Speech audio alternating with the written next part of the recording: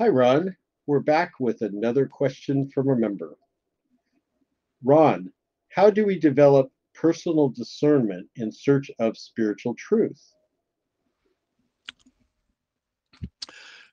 Personal discernment. Um,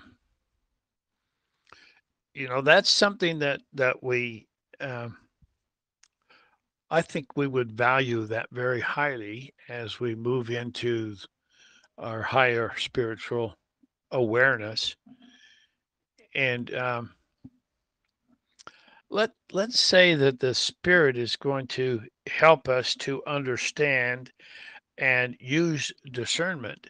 Now, uh, discernment in search of the truth. Um,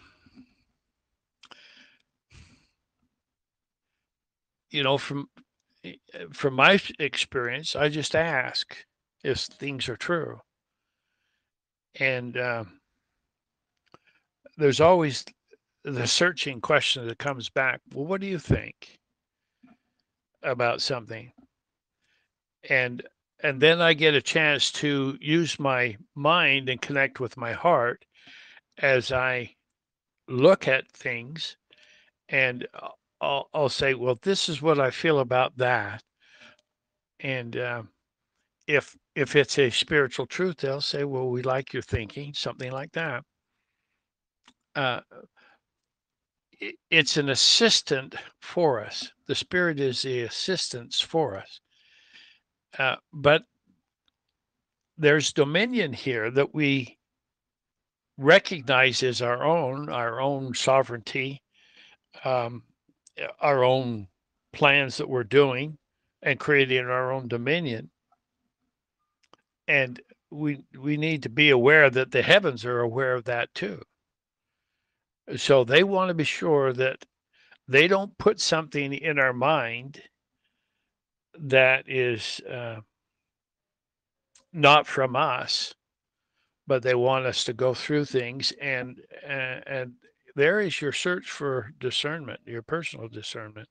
Eh, you're going to know and, and you're going to respond in a way that uh, the heavens are not overcoming you or giving you false mm, new ideas unless they say something you you do your little spiel with them and uh, i believe this and this and this and and uh, and they say well it, you, you're on the right track and uh, you might want to just check into things a little bit deeper and and find some some truths there that perhaps you haven't um, thought about yet. And and so that that i think that that's part of what we're trying to accomplish. Um, we are gods. And and we've got to act like god. Now, how do you do that? Well, if they were to ask me, I said, well, I, I think that God is perfect and does and and and uh, has a present knowledge of all things, and delve into it that way, and and that's going to help us to understand where the heavens are and what we're searching for. So. Uh, if I'm looking for spiritual truth and I ask, then I will give my dialogue of what I think it is, and and they say if it's good, if it's good, then they'll say, well, we like your thinking. If it's not, they'll invite you to uh, delve a little bit deeper into something that perhaps you have not understood quite well. Now, let me say right now, when they do that, your inner guidance system plugs in and you're going to find some new truths that you've never thought about.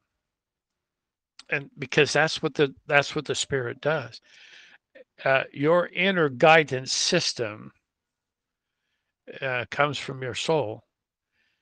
And your soul's responsibility is to guide you to the information that you need or the experiences that you need to grow and develop in in a way that will help you to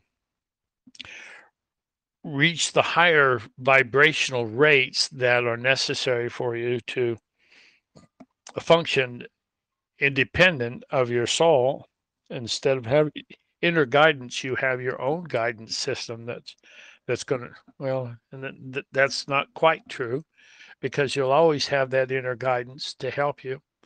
Uh, your development is in using that inner guidance for the things that you want to do in your life and the experiences that you're going to have. So your soul is going to get you to the right place at the right time with the right thoughts and the right ideas. And that experience is going to help you to have a higher um, spiritual uh, vibration. And, uh, and it will, that experience is going to be for your best good.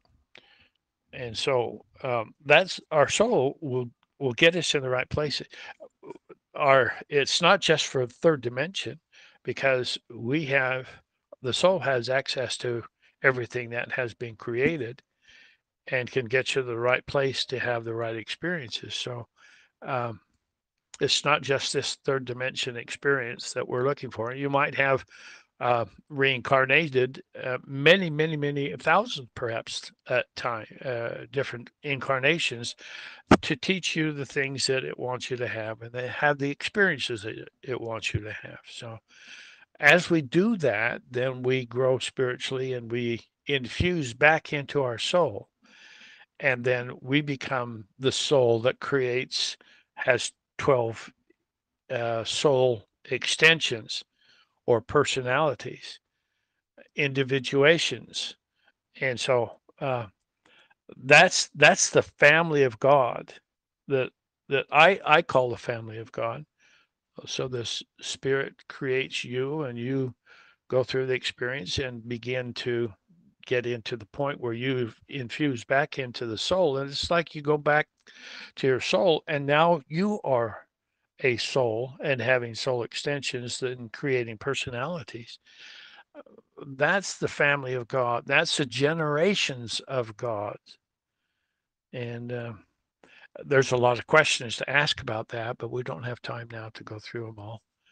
But but know that there's always uh, things that we're learning. So uh, personal dis- discernment is is what we're achieving as we go through these experiences. I hope that helps.